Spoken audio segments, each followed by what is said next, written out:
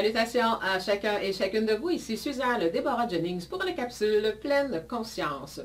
Aujourd'hui, j'ai envie de vous parler, en fait, mon thème, c'est ignorante et fière de l'être.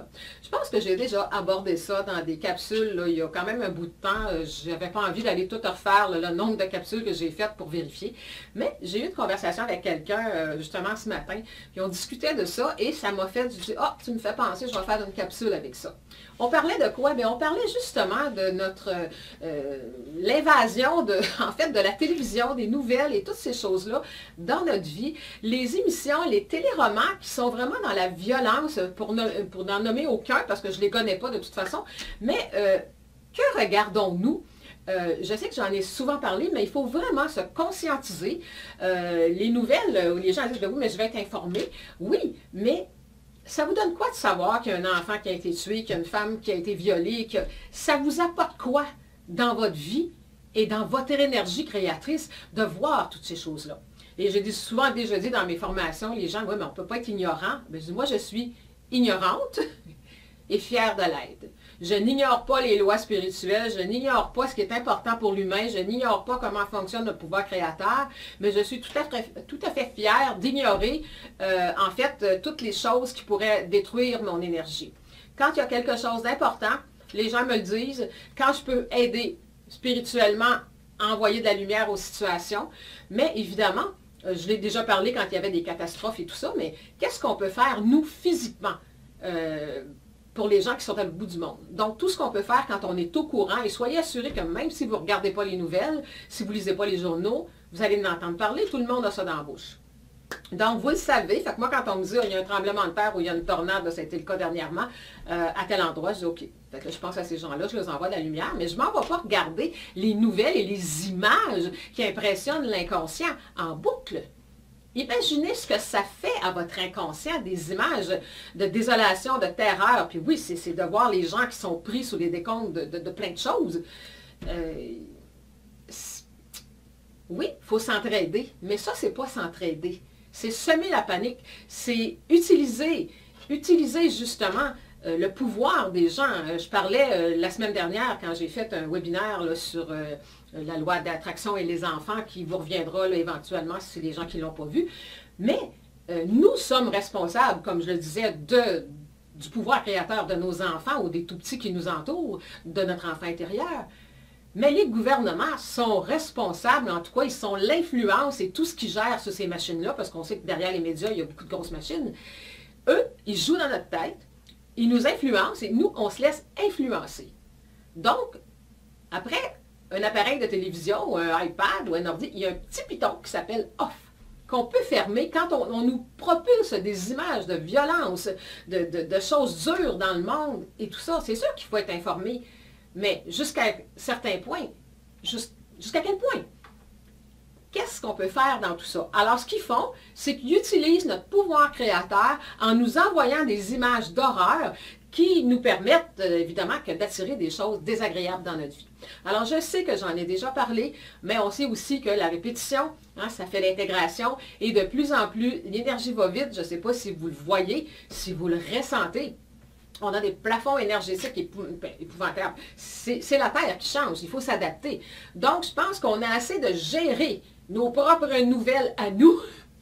On a assez de gérer quand on va à la boîte à mal puis qu'on voit nos comptes arriver ou qu'on voit. On a assez de gérer tout ça, ce qui se passe dans notre vie, sans gérer la vie de la planète au complet, avec nos émotions.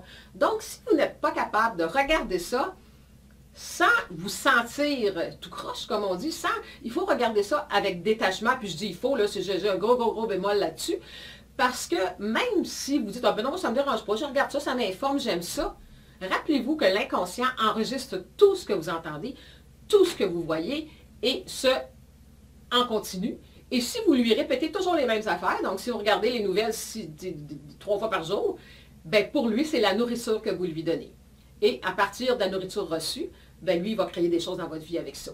Donc, euh, il faut être sélectif dans notre nourriture physique pour notre corps. Il faut être sélectif dans notre nourriture mentale aussi, la nourriture de notre âme.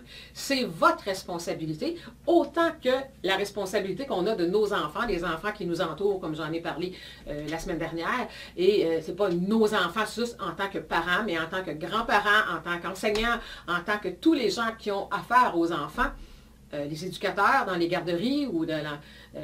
peu importe donc, il faut regarder que laissons-nous entrer dans notre énergie et par quel véhicule, radio, télévision, journaux, est-ce que je suis en train de lire ou écouter, regarder, est une bonne nourriture pour mon âme, pour mon esprit et pour mon corps. Pourquoi mon corps? Parce qu'à force de regarder des choses qui sont déprimantes, décourageantes, horrifiantes, les émotions que vous vivez vont se jeter dans votre corps en symptômes, en malaise et en maladie.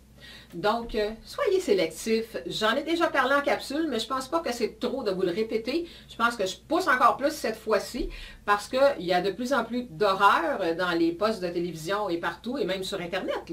Soyez vigilants et soyez sélectifs dans le choix de ce que vous regardez, de ce que vous écoutez. Écoutez des choses qui vont vous élever en énergie et non vous rabaisser. Alors, c'est ce que je vous invite euh, justement à euh, participer, à partager.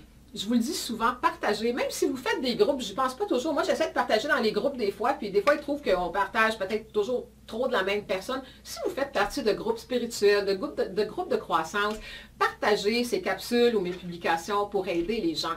Il y a des gens qui ne sont pas au courant et il y a des endroits aussi euh, dans le monde qui n'ont pas nécessairement tous les enseignements qu'on a ici au Québec. Donc, euh, partagez, aidez les gens à grandir et une bonne façon de grandir, euh, parce qu'en fait, on est déjà grand, on est déjà puissant, on est déjà extraordinaire chacun. En fait, il faut enlever dans nos habitudes, nos attitudes, notre énergie, les briques, les briques qui nous descendent par en bas. Alors, les habitudes malsaines, néfastes à tous les niveaux, il faut retirer ça. Et aujourd'hui, ce que je vous parle un peu, ben, c'est d'ignorer, hein? ignorante et fière de l'être. Je suis nullement ignorante à bien des, à bien des niveaux, mais d'ignorer tout ce qui descend mon énergie, ben pour moi, c'est sain. Donc, tu n'es pas au courant de rien. Ouais, puis, ça ne m'empêche pas de vivre depuis 20 ans, et même plus, là. Je, je, vis encore, puis imaginez tout le temps que je perds pas à regarder tout ça. Et même, j'en ai déjà parlé, attention aux films que vous choisissez, aux émissions, aux téléromans, à toutes ces choses-là. La vie des autres remplie de problèmes. Pourquoi regarder ça à télévision quand on a déjà la nôtre à gérer? C'est parce qu'à un moment donné, on ne vit pas notre vie, puis on vit par procuration. Hein, des émotions par procuration. On laisse le téléroman, on laisse le film nous faire vivre des émotions désagréables. Il me semble qu'on a assez de notre vie à s'occuper sans regarder les autres dans la misère à la télévision. Alors, c'est un choix. C'est une opinion aussi. Et si vous n'êtes pas d'accord, je, respecte totalement votre vision. Mais pour ceux qui, des fois, on n'a pas toujours, on n'est pas toujours dans la conscience, hein, la vie va vite, on dit je veux me détendre le soir à ta télé. Oui, mais trouvez quelque chose qui, vous amène de la joie. Pas euh, plein de problèmes. Puis je sais, j'ai déjà fait ça moi aussi, dans le temps, on regardait, quand je travaillais dans, un bureau, ça fait au-dessus de 30 ans, on regardait toutes les mêmes téléromans, puis le lendemain, à l'heure du café, puis à l'heure du dîner, on se racontait tout, t'as-tu vu que l'autre a d'ici, puis est-ce que c'est gaspiller sa vie, ça? Oui. Absolument. En ce qui me concerne, oui. Et je l'ai fait moi aussi, là, comme tout le monde. On se racontait téléromans, puis j'avais hâte de voir qu'est-ce qui va y arriver la semaine prochaine. Je peux-tu essayer d'avoir hâte de ce, qui va m'arriver la semaine prochaine? Puis si je veux savoir ce qui va m'arriver la semaine prochaine, il faudrait peut-être que je gère aujourd'hui. Alors, c'est ça. J'étais très, euh, très animée de vous raconter ça aujourd'hui. C'est quelqu'un qui, euh, moi, c'est pas long, hein, on, me parle de quelque chose, puis oh, une capsule là-dessus. Je pense que c'est ça, une bulle qui a passé. Alors, euh, je vous invite à conscientiser tout ça. Partagez, plaît. C'est très apprécié. Alors, bonne conscientisation, réflexion. Au revoir.